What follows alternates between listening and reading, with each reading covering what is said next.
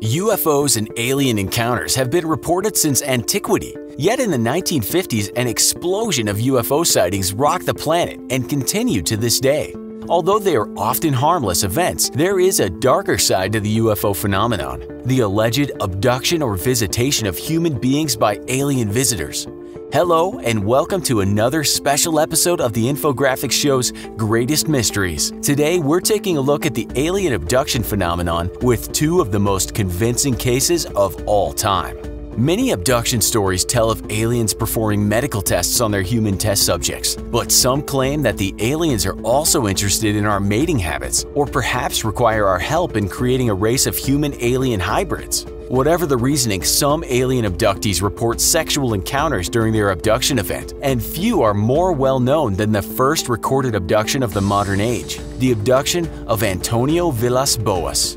In early October 1957, Boas began seeing strange, bright lights in the sky around his family's farm in rural Brazil. On October 5th, just before midnight, Boas spotted a bright white light in the sky as he opened his bedroom window to get some fresh air. Later that night, after sleeping for a bit, Boas awoke and discovered the same light in the exact same position. Yet, as he looked at it, the light suddenly began to move toward him at a frightening speed. Terrified, he slammed shut the window shutters and woke up his brother, and the two watched as the bright light shined through the closed shutters before leaving. The light reappeared nine days later when Boas and his brother were out working in the fields at night to beat the daytime heat. This time, the light hovered about 300 feet above their head and moved from one end of the field to the other as the brothers approached to investigate. Suddenly, the light disappeared, as if having been turned off, though Boas suggested that the light may have simply lifted up and rushed away while he wasn't looking. The next night, working in the fields alone, a reddish light zoomed out of the sky towards Boas at incredible speed. Before he could decide what to do, it had already stopped directly above his head, and Boas could see a craft that looked like a large, elongated egg. Three legs extended from underneath it as the craft began to descend, at which point a terrified Boas ran to his tractor. But upon reaching it, the tractor and its lights suddenly died. While Boas was fleeing for his house, a small figure suddenly grabbed his arm.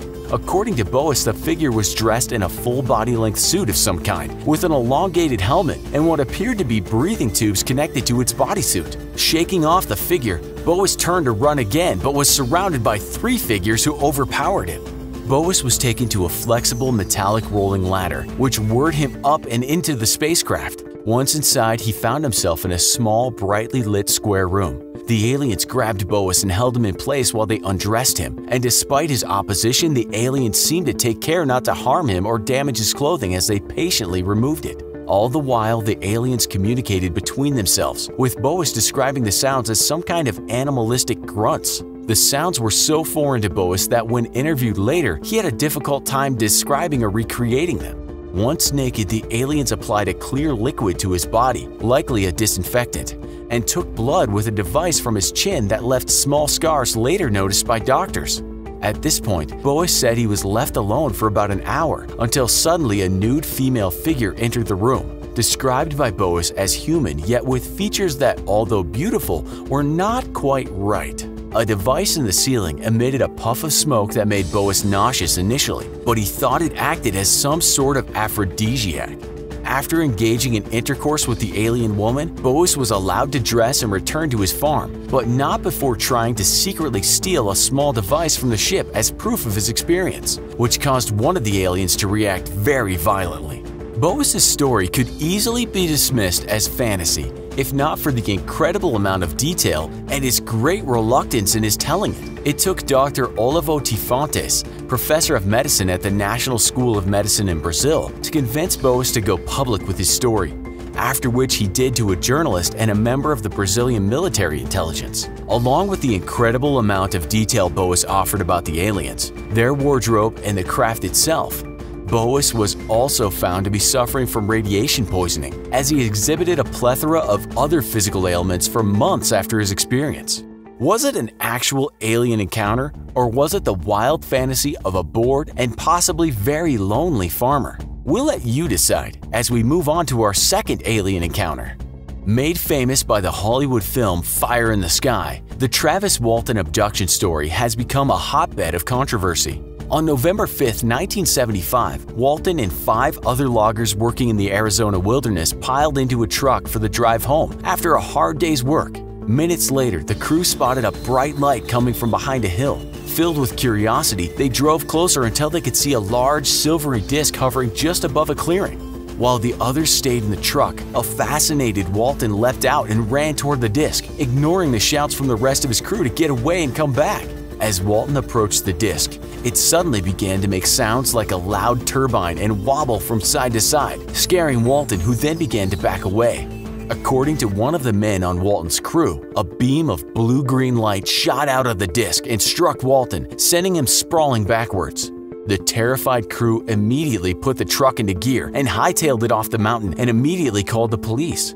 Deputy Sheriff Chuck Ellison answered their call and came to meet the men, saying later that all of the men were distraught and two were in tears. Although skeptical of the story, he said if they were acting, they were awfully good at it.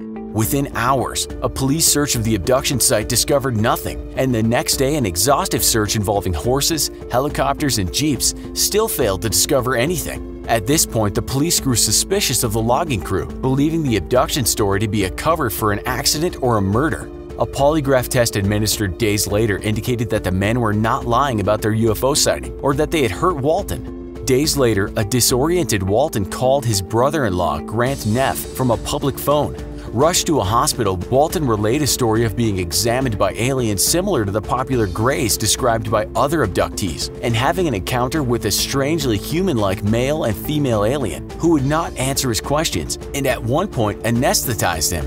A medical examination discovered a small puncture mark on his right arm consistent with a hypodermic injection, but it was nowhere near a vein. His urine also showed a lack of ketones, which if Walton had indeed been without food as he insisted, and as his weight loss suggested, should have been present as his body began breaking down fats in order to survive.